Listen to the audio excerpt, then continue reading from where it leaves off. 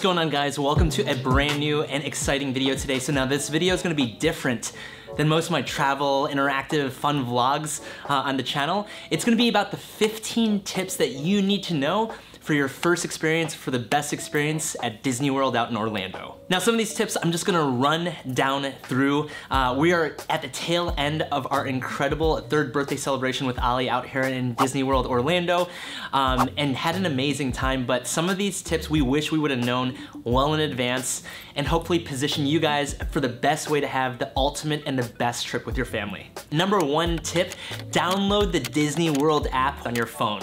Now, if you guys download the app app and connect it to the tickets on the day that you're entering the park, whatever park you're going to, it's gonna make life so much easier. You can actually check on all the rides, majority of the rides, let's say in the park, see the wait time in each line. You can also book restaurants, uh, you can book food, um, you can plan out or have it plan out in a full a day itinerary for you guys in the app. Uh, and there's just so much you can do in this app. So 100% download the Walt Disney World app before you head out there. Number two, check out the different pricing and promotions that are running at each park or at all the parks, let's say. You can actually get a pretty good price purchasing the four park pass tickets if you plan on going to four different parks for four different days. Uh, for example, for us, we ended up booking two different parks for Media and I specifically. If we would have booked the four person pass for all four family members, we would have had to only pay $20 more than purchasing two days individually for four persons. And this is in June 2023. So check out all the promotions and discounts before you buy your tickets. Number three on the list, bring water and stay well hydrated. So stay hydrated before you guys go to the park, obviously.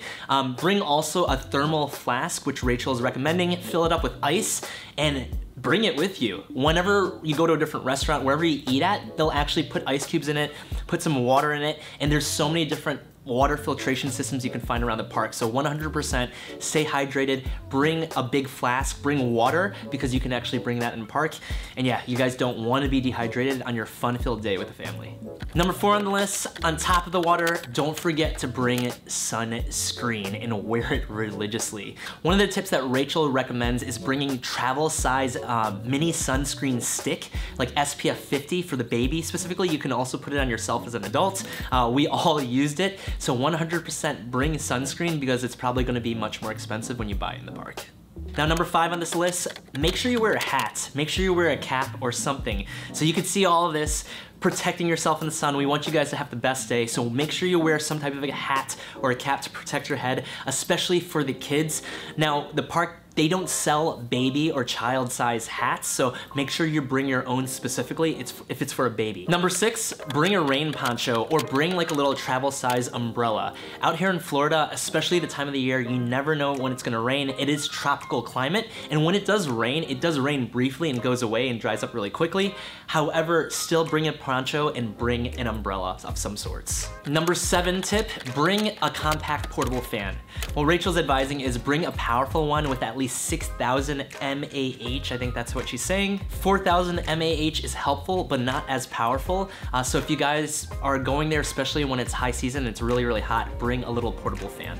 Number eight, a huge tip, get early access or early arrival passes, which Media and I had 30 minute early access to.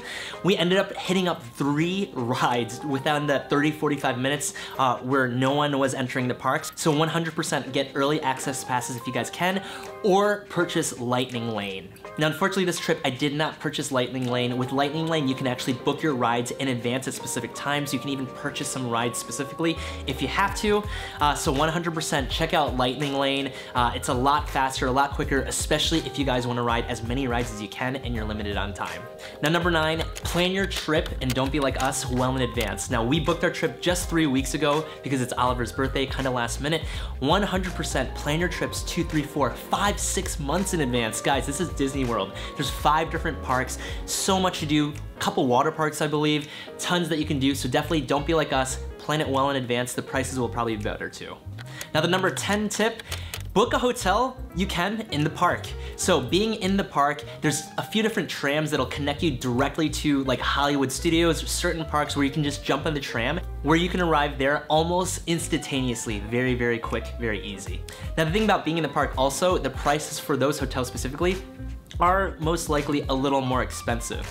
Now, one hotel that we would 100% recommend, there's tons of other properties outside of the park, is the JW Marriott Bonnet Creek, which we checked into just three days ago. So, so similar to the other hotels, just a 10 minute cab ride just outside of the parks can get you to the park really easily. JW Marriott was a super comfortable property and an incredible stay, which I'd highly recommend, especially if you guys have a family. They just opened up their family suite with bunk beds, which we absolutely love. We also have a connecting room. The property is absolutely beautiful, incredible stay. They have a couple pools outside, super relaxing. They have tons of different restaurants. The food here is awesome.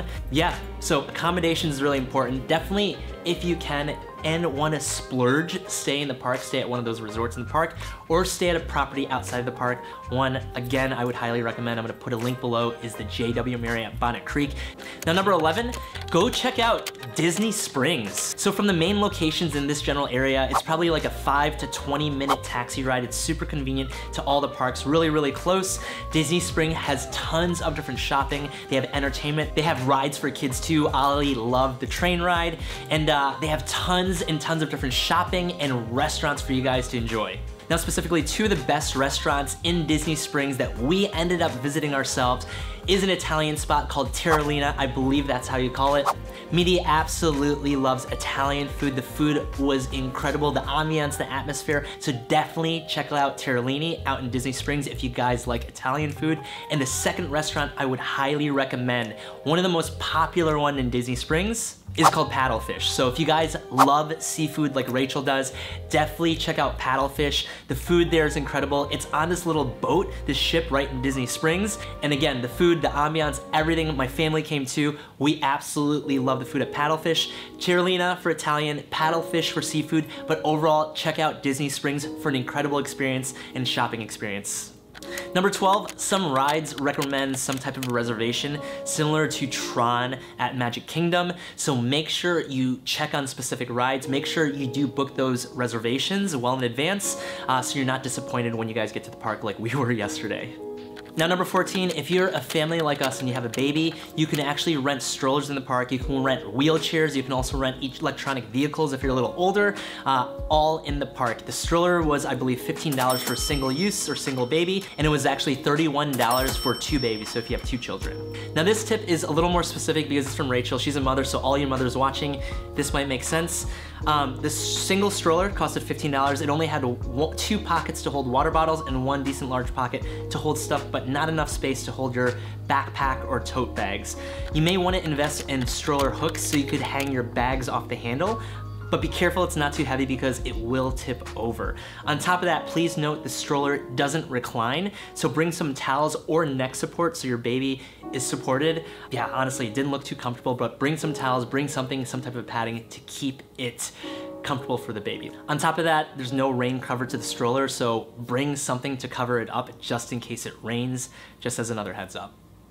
And for the final tip, guys, tip number 15, bring an extra change of clothing and some type of a towel and or cooling towel. It does get really, really hot. Uh, you will sweat a lot, so you'll either want to change your clothing or and or keep some type of a cooling towel around you as you walk through a park, as you have a great and amazing day in the park. Again, there's five different parks out here in Orlando. There's tons and tons and tons of fun that you can have with your family, with your friends, solo, which I even saw a ton of solo travelers and I hope these 15 tips will help you guys out plan your next Disney vacation with your family, have an incredible and smooth time. And specifically for the hotel, JW Marriott Bonnet Creek, definitely check them out. I'll put a link below to their website. Highly recommend staying outside of the park as I notice a lot of the parks inside are a lot more expensive. But overall, I hope this video helped you out. I hope you guys enjoyed this video. Make sure you guys smash the like button if you guys enjoyed this video. Comment down below if you guys are experts, if there's some other tips I should have added to this video to have a better or an amazing and smooth Disney trip with the family. And make sure you guys hit that notification bell so you guys are notified for the next videos. Overall, thank you guys so much for watching this video. We had an amazing time in Disney World and I hope you guys do too. Take care, guys.